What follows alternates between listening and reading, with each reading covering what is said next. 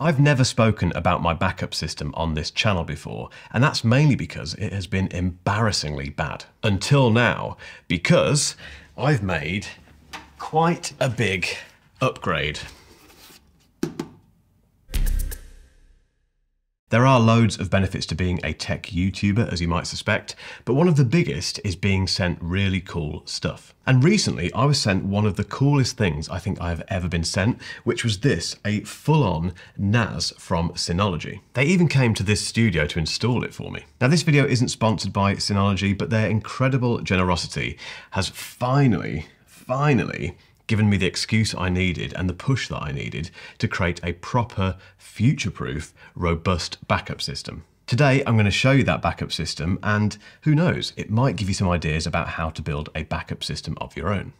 NAS stands for Network Attached Storage, and it is basically a bit like having your own personal Dropbox or iCloud drive. There is a bit more to it than that, as you might suspect, but a NAS is basically a device like this, which you plug into your broadband router and which you can then put drives into and use as external storage. They're used by businesses and home users to store data centrally for ease of access by multiple people on different devices. Some people also use them for streaming content such as video and audio. Others just use these things as massive storage areas for their photo collection and even as a way to control their home surveillance system. Now the DS1522 Plus, very catchy name, is one of the latest NAS devices to hit the market and it's really rather special.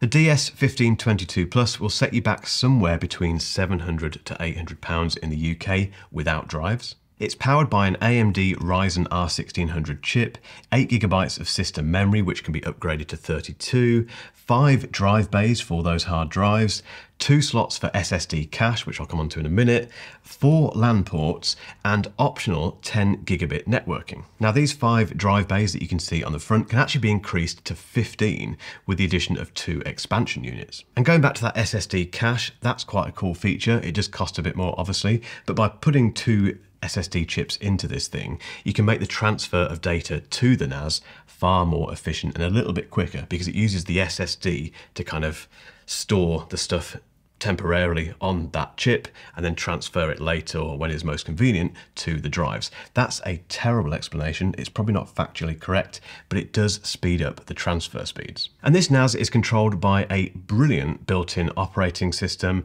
but you can also control it from your phone and it's compatible fully with macOS and Windows if you want to set it up as an external drive. And accessing this thing remotely could not be easier. Synology sets you up with what they call a quick connect URL, which which you just plug into any web browser and you can then securely log into your NAS wherever you are. There's an awful lot more to this NAS than that, but I'm not a particularly techy tech channel. You should know that by now. So I'm not going to go into every single detail about this thing. What I am going to do is tell you how I'm using it and the key features I think you might be interested in.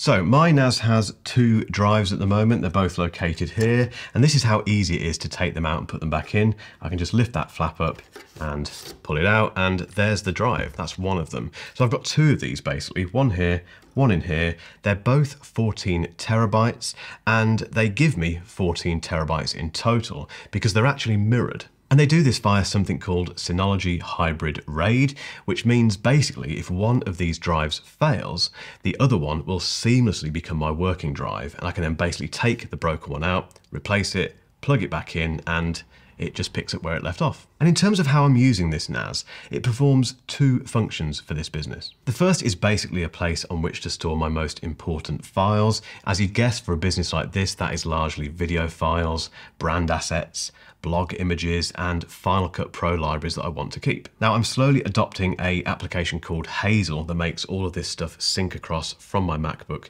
to the NAS automatically but that's for another video. I also place B-roll on here that I might want to reuse from past videos, and also all the videos that I've published on this channel go onto this NAS for safekeeping. That's made a massive difference to my production process because previously I'd get those things off external drives, external SSD drives, which I'd have to remember to have with me all the time.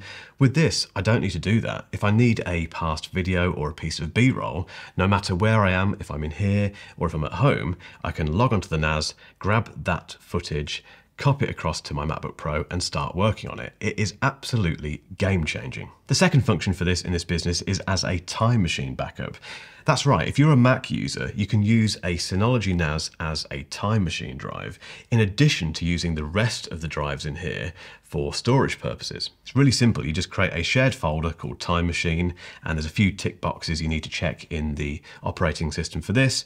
And as soon as you've done that, you can then access that shared folder from your Mac as a time machine drive. It's so, so easy. But I've gone even further than that. Synology also offers something called C2, which is their automated cloud backup service. Now my C2 account is attached to this NAS, which means that is automatically backing up everything on here to the cloud. However, I've gone even further than that. I also have a 14 terabyte external drive attached to the NAS, and that uses Synology's Hyper Backup tool to automatically back up everything on this drive or on these drives to that external drive. I hope this is all making sense. Basically, this mirrors two drives, so if one drive dies, I've got the other one there, it's no problem at all. I have a C2 backup account, which is taking all the data on this and throwing it into the cloud securely. And I also have an external drive attached to this to create another physical backup on site of all of the data on this NAS. And the reason for that last one, it's a bit overkill, but the reason for that last one is that if both of these drives fail, so if something goes horribly wrong with this and they both die, I still have both that C2 backup off site, but also that physical backup in my possession right next to this machine. And I can also take that physical backup away with me whenever I need to. So for example, we're going on a family holiday quite soon. It will just give me a bit more peace of mind that I can take that drive with me because if someone breaks into this place or I don't know, something terrible happens here and this disappears or dies, I've got all of the stuff that I hold dear on that other external drive. Oh, and there's one other thing. Synology also provides an iPhone app, which is called Mobile Photos or Photos Mobile, I think. And that basically takes all of your photos from your iPhone and automatically backs them up to your NAS. So all of my photos are safe too, because obviously they're getting backed up to C2 and to that external drive as well. It's an epic backup system, and it is a bit overkill to be honest. I've kind of gone from one extreme to the other. You know, I, I, didn't really have a proper backup system before, believe it or not. Now I have this absolute fortress.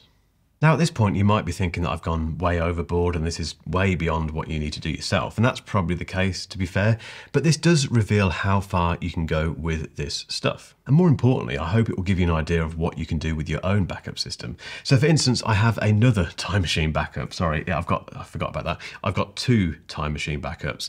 The second one is actually linked to my Synology router, which has a kind of NAS feature built into it. That's a far cheaper way of gaining NAS-like functionality compared to buying one of these things. And as I say, I have a drive attached to that router. I made a video about this, which I'll link to above. But that drive attached to that router is also acting as a time machine backup. So I do actually have two time machine backups, but that doesn't matter.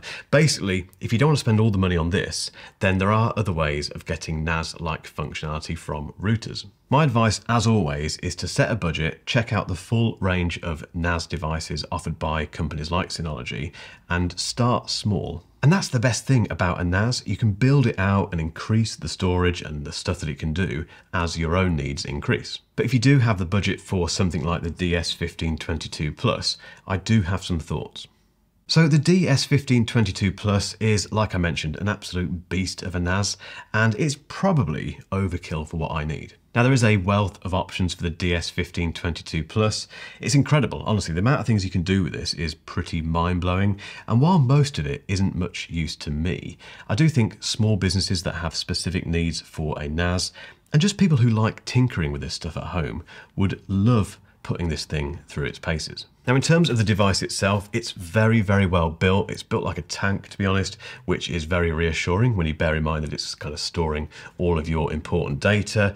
Synology is known for this stuff. They've been doing this for many, many years and it kind of shines through really. It's very functional, very utilitarian, but what I love about it is as soon as you put that on your desk, it looks like it and you mean business. Now, in terms of the setup, like I mentioned at the start of this video, I was very lucky for these guys to come out and install this NAS for me, but you can do it yourself. You don't have to get them to do it for you at all. It's completely self-installable, and I would have done that if they hadn't offered to. The only thing I would say about the DS1522 Plus, or more specifically the drives inside it, is that it is quite loud. And that's because it uses spinning drives, physical hard drives.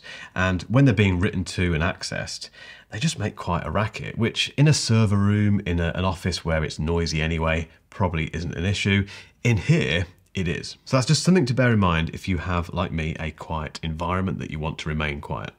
Now, this wasn't a really in-depth review of this NAS. It was never going to be. This isn't what this channel's all about. But hopefully it gave you a bit of an insight into what this new backup system is doing for me how I'm using it, and also how I'm using this NAS to pretty much revolutionize the way that I produce content.